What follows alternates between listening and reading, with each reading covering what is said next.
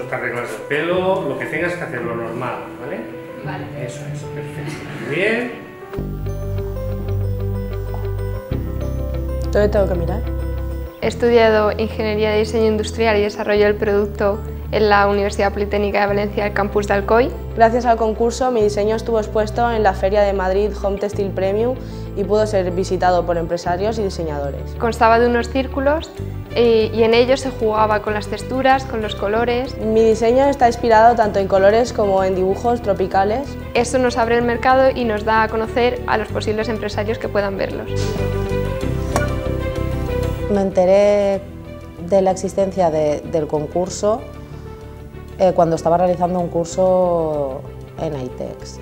El año pasado me presenté al primer concurso de diseño textil eh, de la cátedra de AITES junto con la Universidad Politécnica de Valencia, eh, campus de Alcoy, donde pude obtener un segundo premio en la categoría. Un diseño juvenil, fresco, con colores vivos, alegres, muy, muy empastado. Mi proyecto estaba inspirado en el sistema braille. El tejido permite a la persona invidente eh, poder leer el diseño.